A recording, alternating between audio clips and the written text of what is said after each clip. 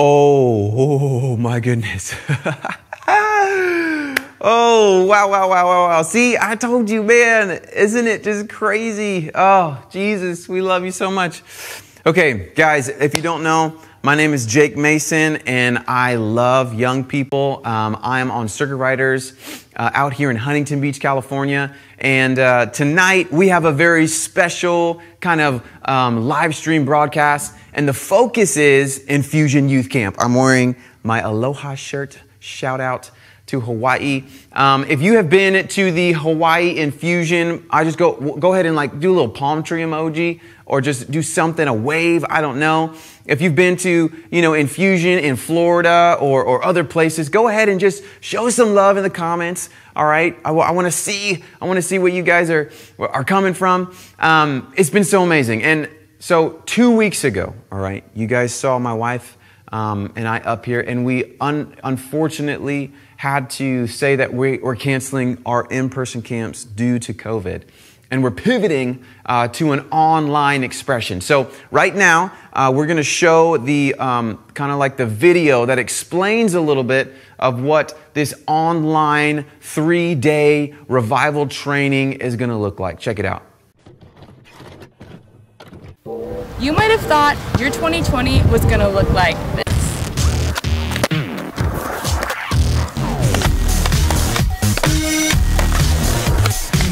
When it actually looked like this.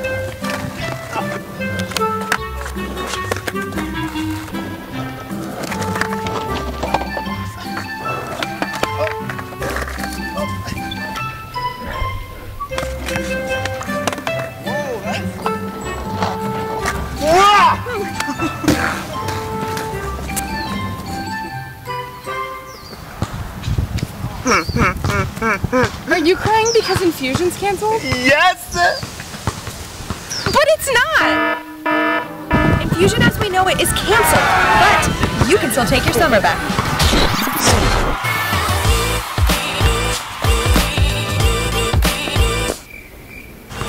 Infusion is going online. This summer we're doing a three-day online revival training camp, and it's all about getting trained. But how's this gonna work?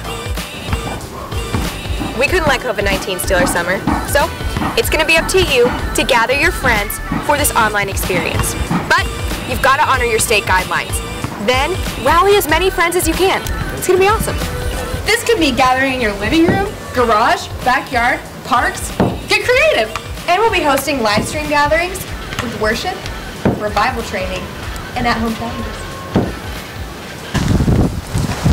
Your squad will be assigned a circuit rider camp coach to take you through this online experience. Get ready to end this three-day experience with practical tools and a revival-ready plan to reach your generation!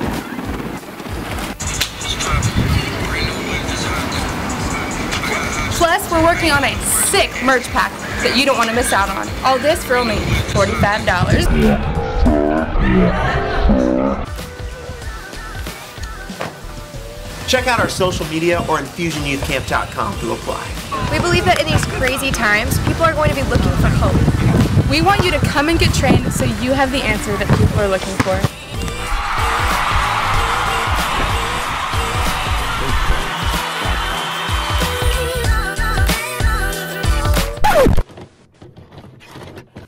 There it is. There it is. Okay, now, if you didn't see, there was this amazing skateboarder at the very beginning. And I just want to say, I might know that guy. In fact, that guy might be my very best friend um, if you consider yourself your best friend. but uh, I just, you know, I've, I've, been waiting for the, for the moment. I've been waiting for, for my moment to let the world know that I am a skateboarder and I love to skate, okay? If there are any skaters out there, I challenge you to a game of skate. Come at me. Let's go. Um, no, no, no. Uh, I do want to play skate. But here's the deal it, it's going to look different. It's going to look different but I want to give you just a, a little background and, and, a little bit of my heart on, on why I still think that you should try and engage with some sort of camp, some sort of online experience that we're going to be providing for you. Now, the question is, why camp? Why? Why camp? Um, I get a lot of a lot of different people saying a lot of different things. Okay, I've been in in the camp business for 15, um, uh, infusion of the 13 years. And then before that, we'd, be, we'd, we'd run camps all over the world, uh, soccer camps in Kenya. Um, we would do like dance camps over in France. Um, wherever I went, it was just one of those ways to bring people together and to teach them about Jesus. And my dad, in fact, uh, would do camps almost every other weekend uh, for the lower income people when I was growing up. So I would be on stage holding a prop here or having a line here or, or just jumping in wherever I could. So it's something that I so firmly believe in. But I do get a lot of people that say, but is camp really all that? All right? Is it really the tool that God wants to use?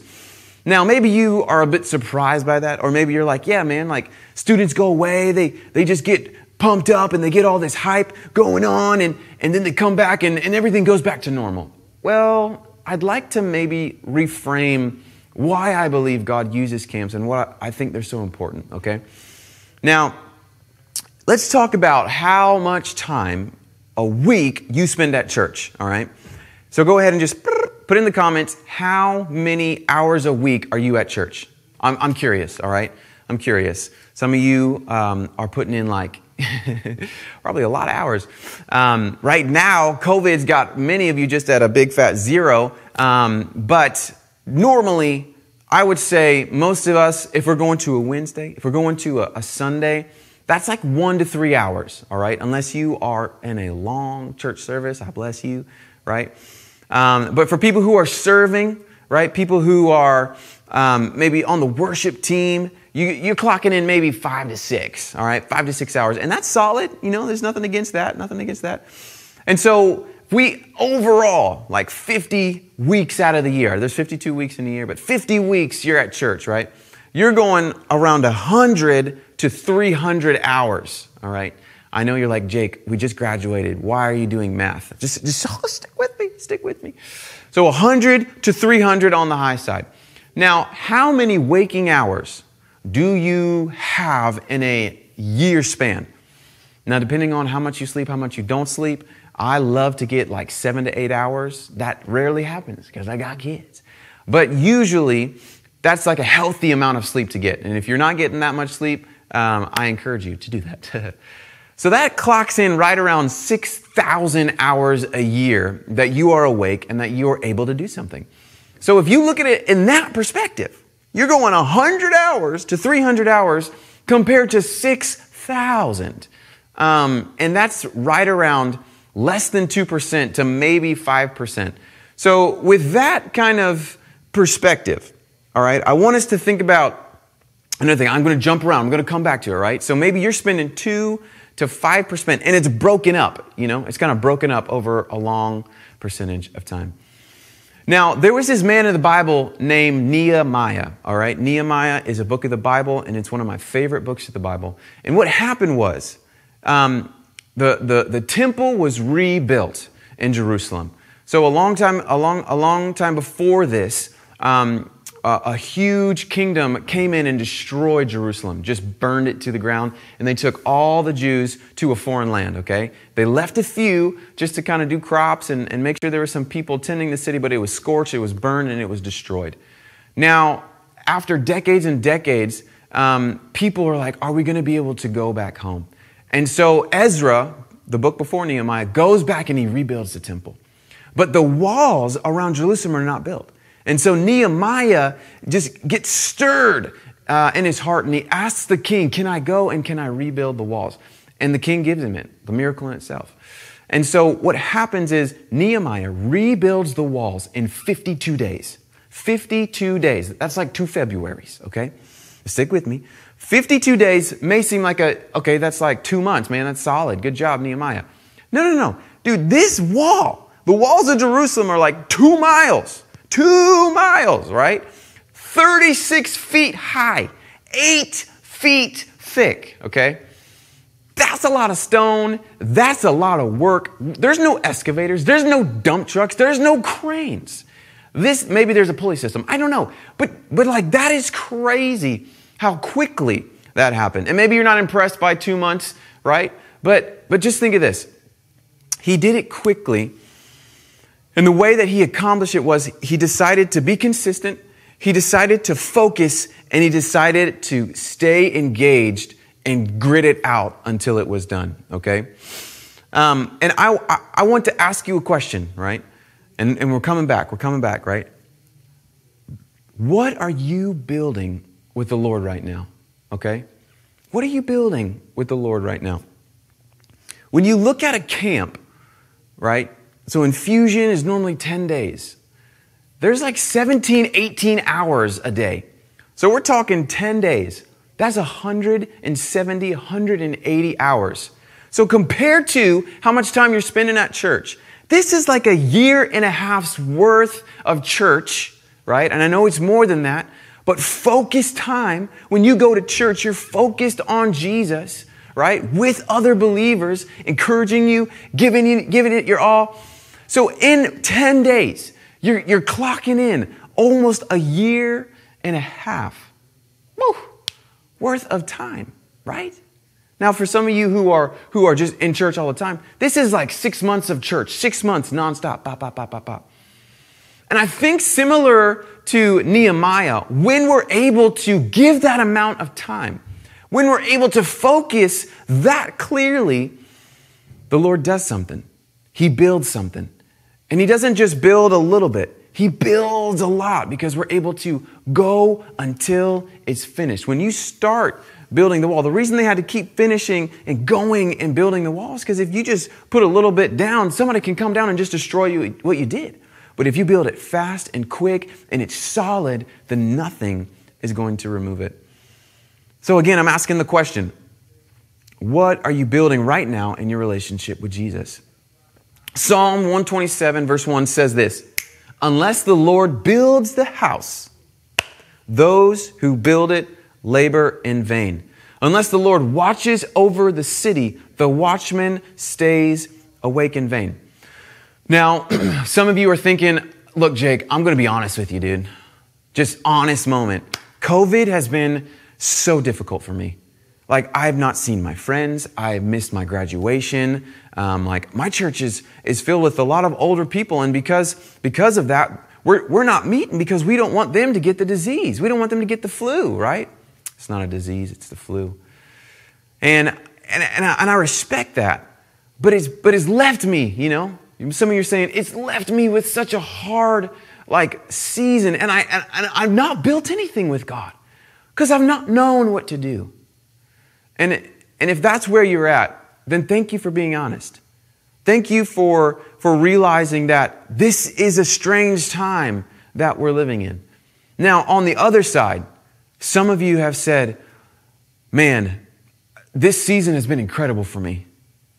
Like, I've been able to go deep in the Word like never before. I've been able to, to set aside time to listen to, to podcasts. I've, I've been talking to my friends, you know, about Jesus, and, and it's just been crazy. I've learned so much about God. And, and you know, they're kind of two polar opposite sentiments. And, and one isn't better than the other, because honesty is, is where we meet in the middle. Because when we're honest with God, then He's able to take what we have and do something incredible with it, all right? So whether you've been able to engage with the Lord and build something in this quarantine, or maybe you've, you've felt so distant and you've not been able to be honest with where you're at. Because if you're honest now, God's going to use it, okay? And the Bible says that unless the Lord is the one initiating this, then we're laboring completely in vain. And I, I feel like the Lord is, is wanting to give you an invitation that He wants to build something inside of you this summer. Why do we love camp, right? Why do we love it? Because when you come out of camp, it's not about replicating what happens at camp. It's about having a strong foundation moving forward a strong foundation in the coming season that the Lord is going to build upon. And sometimes you have to focus. Sometimes you have to remove all distraction so that you can get that foundation secure, okay? Again, some of you are like, Jake, that's good. Thumbs up, dude. Great job. You know, you're, you're crushing it. And, I, am sure that will happen for me. I'm sure that's going to come, right? You know, like, it's, it's going to happen. Listen, James 4 warns us of, of that kind of blase, oh, you know, it'll be all right, we'll, we'll, we'll make it happen. James 4:13 says, "Listen, those of you who are boasting today or tomorrow will go to another city, spend some time and go into business and make heaps of profit." You know, maybe today, maybe tomorrow, I don't know, Jake, God will build it. It's good, you know, yeah, yeah. Um, and then verse 14 says, But you don't have a clue what tomorrow may bring. For your fleeting life is but a warm breath of air that is visible in the cold only for a moment and then vanishes. Instead of you, instead you should say, Our tomorrows are in the Lord's hand, and if He is willing, we will live life to its fullest and do this and do that. I know many of you understand that we're not promised tomorrow. We're not promised um, even our, our next moment. And that's important to carry with us because it, it allows us to make sure that we are in step with what God wants. And, and if you feel like maybe you've gotten out of step with God, it's as easy as this Lord, I repent. You're back in step. I know you don't think it is, but He is faithful. When you're honest with yourself, man, I don't want to be out of step. I don't want to be blase. I don't want to go here or there or just do whatever. I want to know, Lord, if you're willing, tomorrow is yours and I want to give it to you. Even before I go to sleep tonight, it's yours, God. Lead me. And that's when you get to live life to the fullest. I believe the Lord wants to build something in you. And in order to let Him, we have to make space. You have to make space. Uh, you have to limit distraction. You have to listen to his direction. You have to let go of unnecessary and unhealthy habits in your life.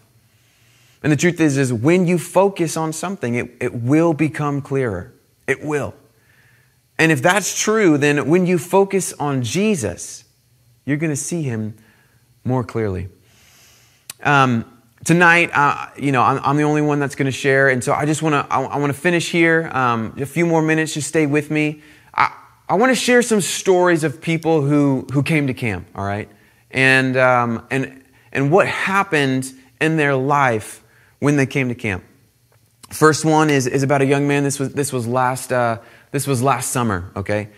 And this was the very first night. Everybody's tired getting in on the plane, and, and sometimes you just want to go to sleep, but we always try and gather everybody just to set some expectation. And, um, and I'm, I'm in there and I'm, I'm welcoming everybody. We're getting stoked. And I said, Some of you are out here and, and you're here because it's Hawaii. It, you're here because, because you know, you're, someone paid for your ticket. Oh, man. Um, and, and that's exactly where this, this young man was. He, he didn't necessarily want to come out here, but someone had paid for him to be there. And I said, But some of you are here. Some of you are here because you want to be the student that goes to the rager, that goes to the party, stands up on the table and says, Is there anyone in here who's tired of this? Is there anyone in here who, who, who's smiling on the outside but is broken?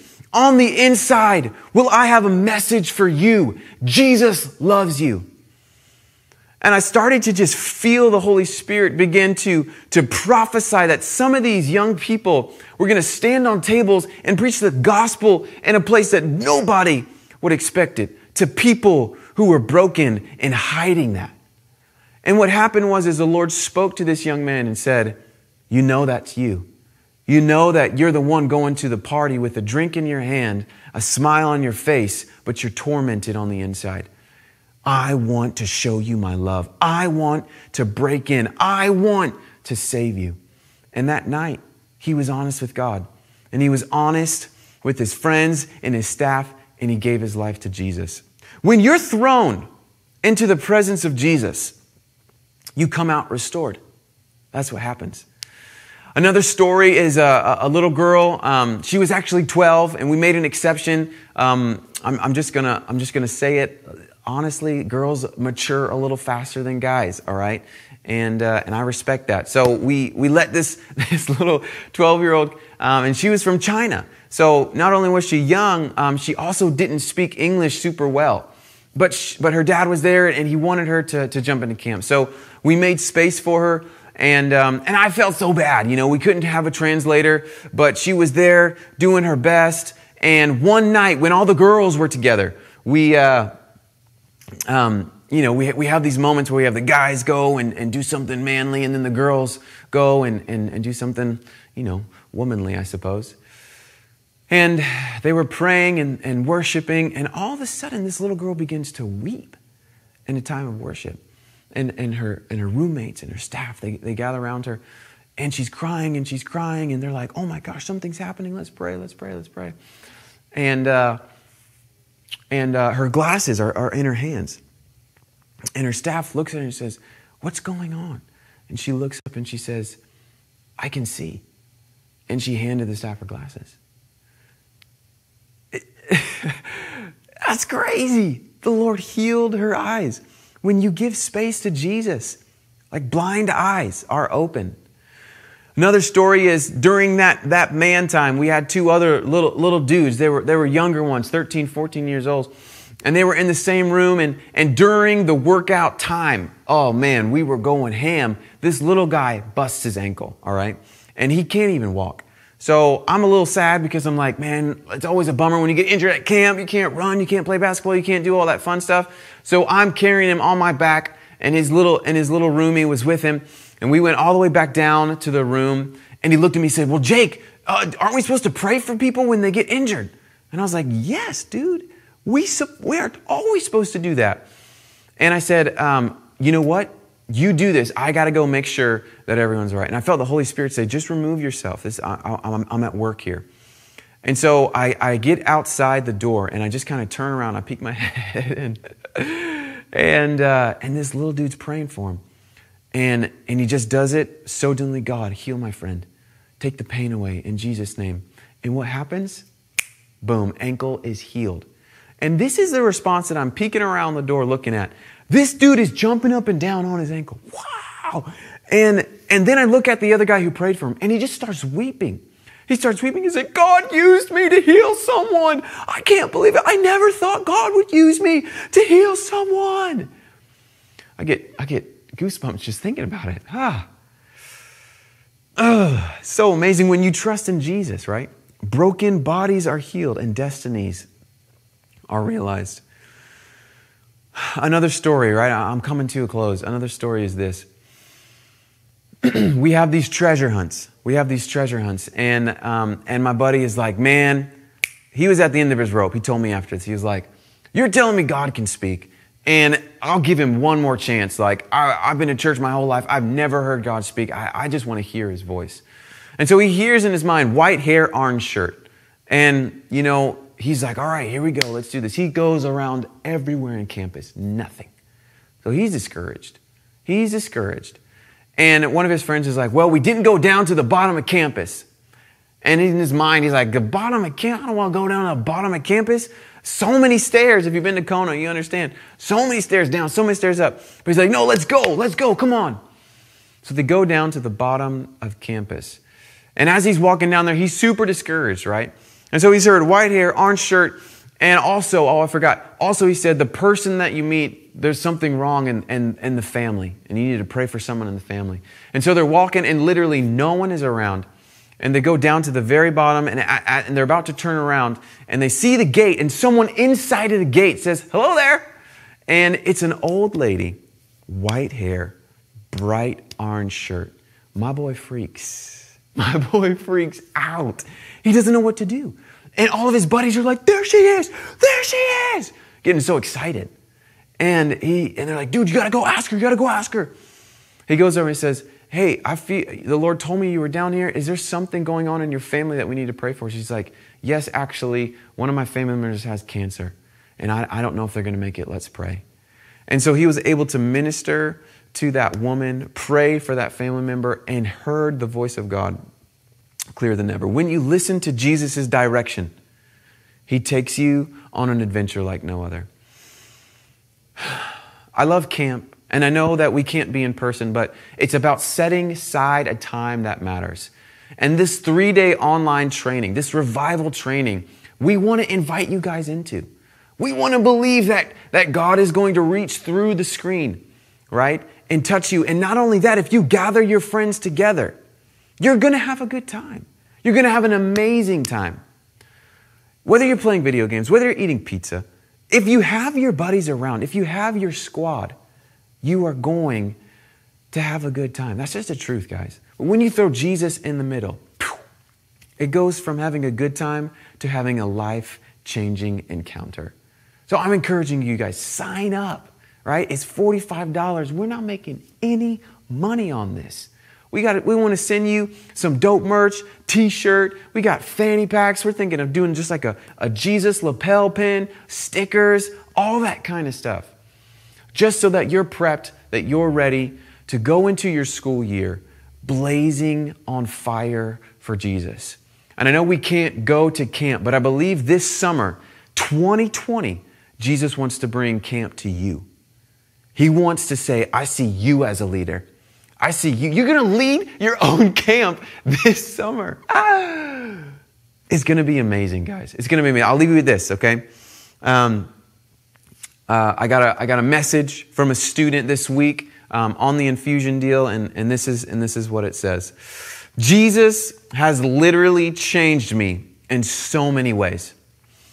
From overcoming a long uh, life fear, a lifelong fear, to making friends that I've had for life, that I'll have for life who love God. Mm.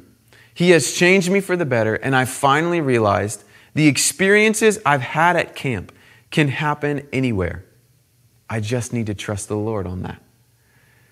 And, I'm, and I'm, I feel like this is for every single person who's watching, who's wondering, man, what am I going to do this summer?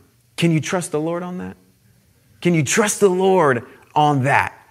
That if you gather your friends, that if you put Jesus in the middle, boom, it's going to be something that you will never, ever forget. Guys, thank you so much for tuning in to CR Youth. We will see you next week. Love you so much.